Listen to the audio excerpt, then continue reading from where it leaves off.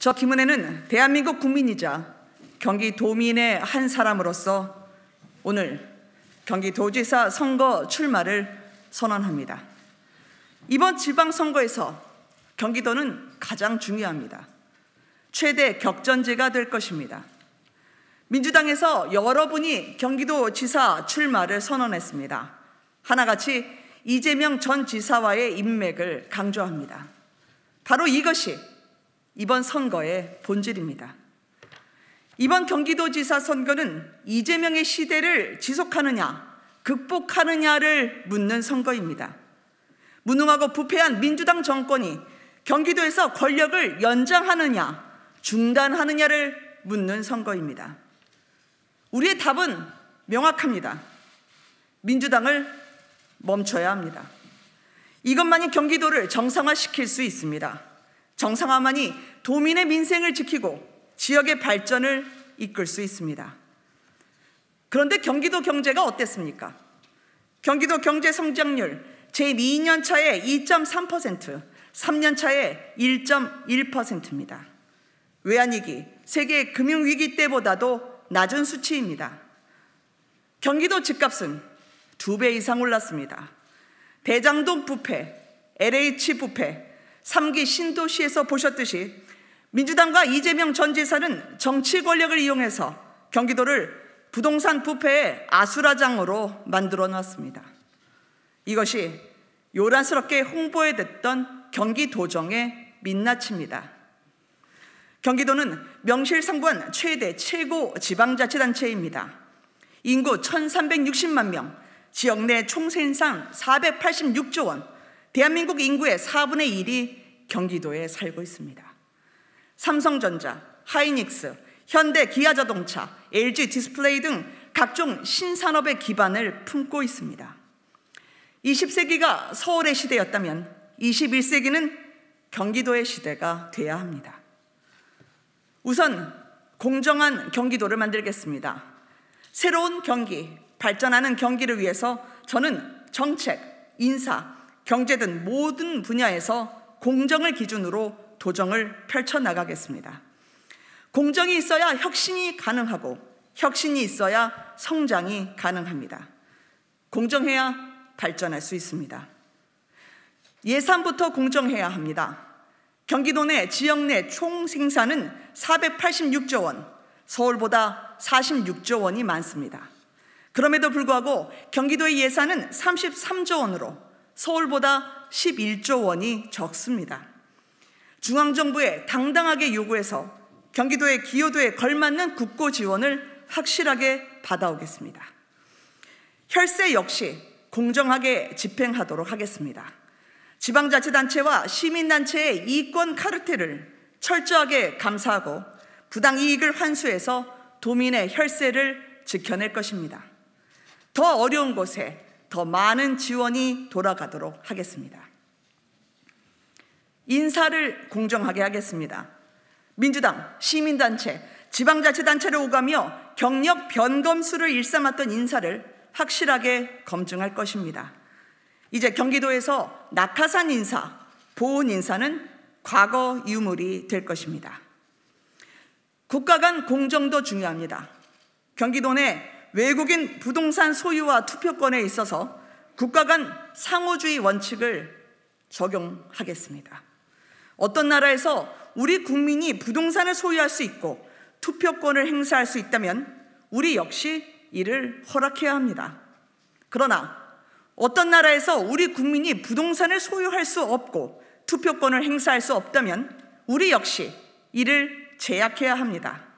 이와 같은 상호주의 원칙은 국가 주권으로서 또한 주권 국가로서 당연한 태도입니다.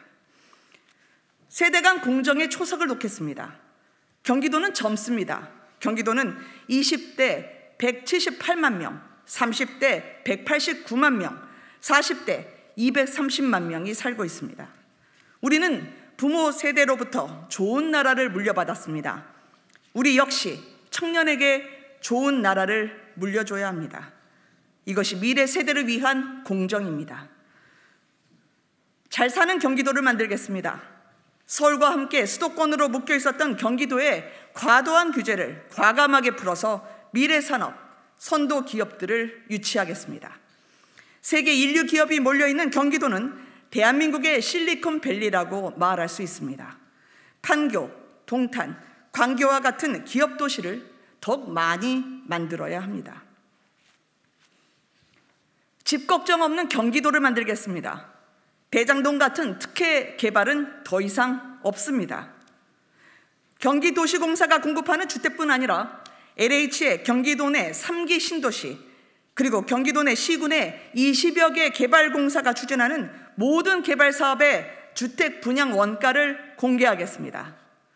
부동산 문제 해법은 공급 확대, 대출 완화, 그리고 세제 경감입니다. 새 정부는 이러한 정책 방향을 여러 차례 강조했습니다. 중앙정부의 부동산 개혁은 경기도의 발전 전략과 시너지 효과를 내면서 서민 주거 안정과 지역 발전을 함께 이룰 것입니다. 경기도 내 모든 역세권을 집중적으로 개발해서 교통이 편리한 직주 근접형 주택 공급을 확대해 나가겠습니다.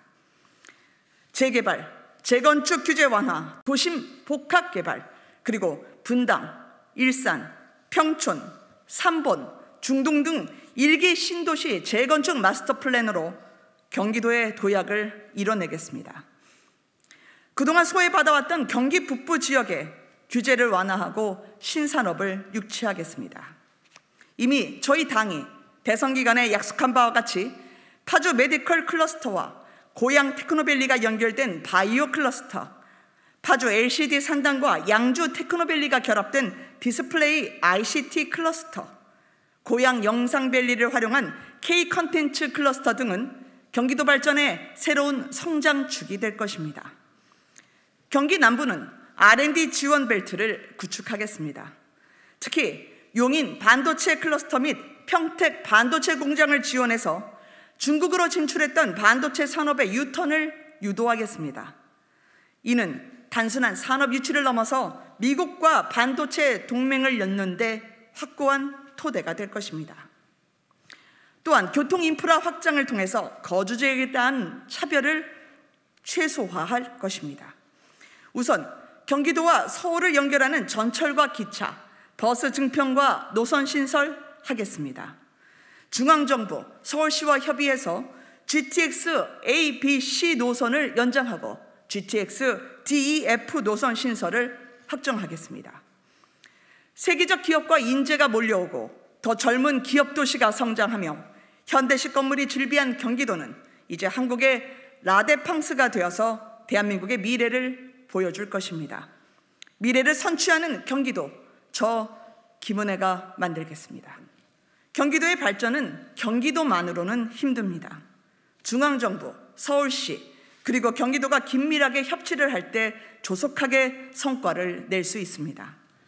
저는 국민의힘 의원으로서 지난 대선과 보궐선거에서 윤석열 당선인 그리고 오세훈 시장과 호흡을 맞추었습니다.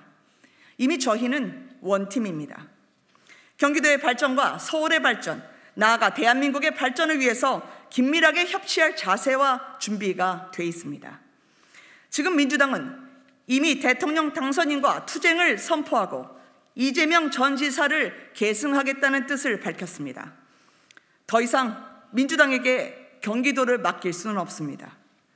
민주당의 경기도는 다시 한번 무능과 부패의 온상으로 전락할 것이고 그만큼 권력의 부정은 은폐될 것이며 그만큼 지역의 발전은 지체될 것이고 그만큼 우리의 미래는 어두워질 것입니다.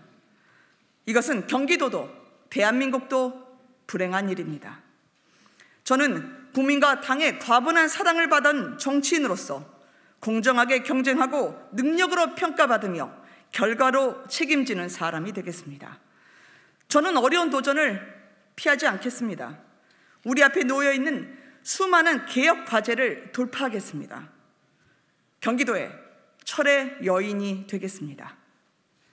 경기도민 여러분, 그리고 당원 동지 여러분, 저 김은혜, 대한민국 국민의 한 사람으로서 또 경기도민의 한 사람으로서 대한민국과 경기도의 미래를 위해 간곡하게 지지를 호소합니다. 감사합니다.